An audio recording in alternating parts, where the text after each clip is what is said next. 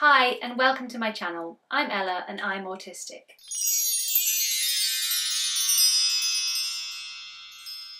When I tell people that I'm autistic, a really common response is, yeah, but everyone's a little bit autistic, right? I decided to make this video explaining the autism diagnostic criteria, which shows that no, in fact, everyone is not a little bit autistic. Many people have some autistic traits because they are human traits, but at the moment, if you don't meet the diagnostic criteria for autism as it stands, then a diagnosis of autism will not be given. Side note, as our understanding of what autism is changes, then the diagnostic criteria could change. In this video, I'm not arguing that this is exactly what autism is, more just saying that this is what the diagnostic criteria are at the moment if you were to attend an assessment. Additionally, the diagnostic criteria looks at autism in terms of deficits rather than strengths. The focus is on negatives, even with some traits that could be considered positives in the right environment. So in this video, I'll be looking at what the current diagnostic criteria is, not commenting on what my opinion is at this time on what is autism and what are autistic traits. I think it's useful to look at these criteria if you're someone who's considering attending an autism assessment so that you know what the diagnostician will be considering when they assess you. I'll be looking at the criteria in the DSM-5, which is the manual currently used in the States. I won't be using the exact wording from the DSM-5. Here in the UK, the ICD-11 is generally used, but it pretty much lines up with the DSM-5. So if you're in the UK, this is still relevant. Right, okay, let's get into it. In the past, autism was diagnosed using specific subtypes, including the subtypes of Asperger's and pervasive developmental disorder. The DSM-5 has consolidated these categories and now there is one diagnostic term, so you would be given the diagnosis of autism spectrum disorder. I think this is useful in the same way that I don't like to use functioning labels such as high functioning or low functioning. Categorising autism into different subtypes could lead to assumptions being made about presentation, potential, and support needs. Whereas, in my opinion, it's more useful to know that someone is autistic and then to get to know them as an individual to figure out their support needs and strengths. The DSM 5 criteria is broken down into five lettered categories A, B, C, D, and E. Two main sections which look at traits and three further criteria. These criteria must have been seen in multiple contexts for the diagnosis to be given. Side note, this needing to be seen in multiple contexts is why here in the UK when we assess children, generally speaking, it's expected that you'll see the traits both in school and at home. This does not consider the autistic child's ability or desire to mask, particularly in the school setting where the pressure to fit in is higher which can make obtaining a diagnosis a really difficult and frustrating experience for the parents of children who mask. So if that's you, I get it. I've been there, I've shed the tears of frustration, and I see you.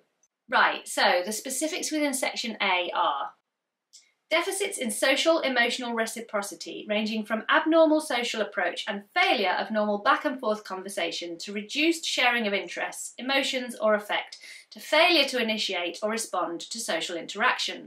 This is about interacting in a way that isn't the expected way socially. I would say we could argue that this deficit is actually just a difference. For example, I find conversation really hard it's hard for me to know when to speak, when to stop speaking. The whole dynamic of the to and fro of conversation is really tricky for me. However, I am really good at imparting information via the medium of a YouTube video or a public talk where I don't have to deal with that, I'm just sharing information.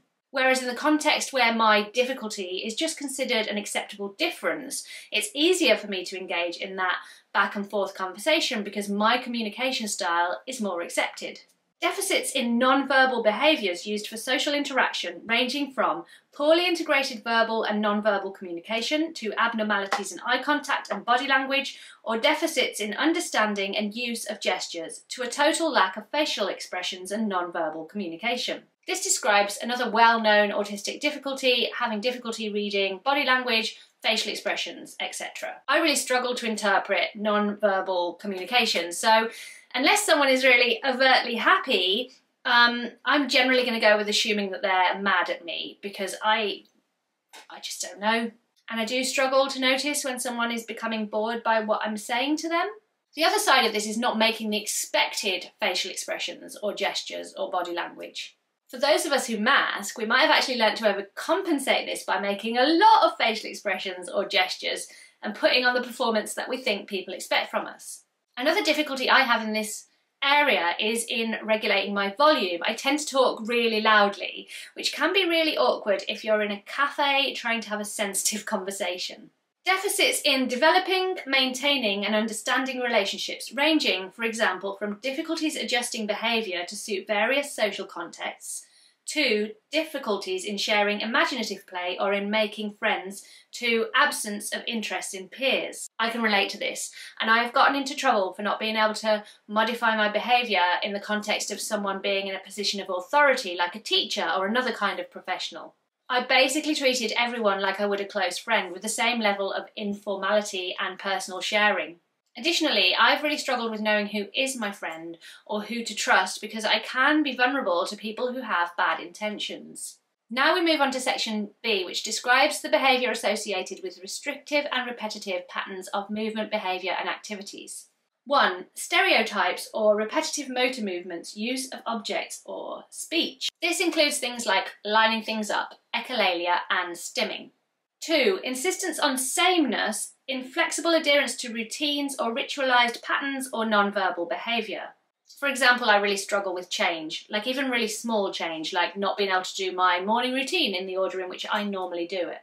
Additionally, I find transitions really hard. I have to move from one thing to the other in a very routine way in order to cope with it. So, for example, I always do a little bit of reading after I've eaten my lunch. I would struggle to transition into reading, but because it comes after lunch every day, that makes it possible for me. This also covers stuff like needing to eat the same food every day or needing to eat off the same plate every day. Number three, highly restricted fixated interests that are abnormal in intensity or focus. Now, okay, this is the one that really bugs me. Like, why is it abnormal and why is it not okay when it is in fact actually completely normal for the majority of autistic people? Number four, hypo or hyperactivity to sensory input or unusual interest in sensory aspects of the environment. This point places sensory issues within the diagnostic criteria. I've actually made loads of videos about sensory issues, so if you would like to know more about that, I'll stick some of them in the description box or you can have a search of my channel. So those were the sections which describe the traits that need to be considered for an autism diagnosis. The next three criteria also have to be fulfilled. Criteria C. Symptoms must be present in the early developmental period, but may not become fully manifest until social demands exceed limited capacities or may be masked by learned strategies later in life. Okay, so early childhood is generally considered from ages 0 to age 8, so it's saying that the traits need to have been present during this period. I was pleased to see the caveat that you sometimes don't see the traits until the social demands become more excessive, which is why we sometimes see children going into secondary school or middle school where the social and the executive functioning demands are greater, and that's when we start to see their traits and start to see them struggle, unfortunately. Additionally, it's great to see masking actually included in the diagnostic criteria, but in reality, on the ground, in those assessments, I'm not sure it's really always considered. Criteria D Symptoms cause clinically significant impairment in social, occupational, or other important areas of current functioning. I guess this is open to interpretation, and it's also putting the onus, particularly in an adult assessment, on the person feeling comfortable enough to disclose the ways in which they are struggling.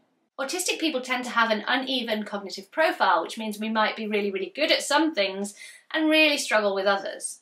And because of this, assumptions about all functioning areas might be based on expecting a more consistent cognitive profile. Finally, criteria E. These disturbances are not better explained by intellectual disability or global developmental delay. Intellectual disability and autism spectrum disorder frequently co-occur. To make comorbid diagnoses of autism spectrum disorder and intellectual disability, social communication should be below that expected for general developmental level. So that's it, the complete diagnostic criteria in the DSM-5 for autism. So hopefully that should be helpful for you if you're considering going ahead and getting an assessment with a view to receiving an official diagnosis. I'm also going to include some online autism tests in the description box, which you can take to give you an indication of whether autism might be a possibility, and then you could also print them off and take them with you if you go for an assessment. I hope you found this video useful. If you did, please hit the like button. I make videos about autism, ADHD and disability, so if you'd like to see more of my videos, then you could also please consider subscribing to my channel. Thanks for watching. Goodbye!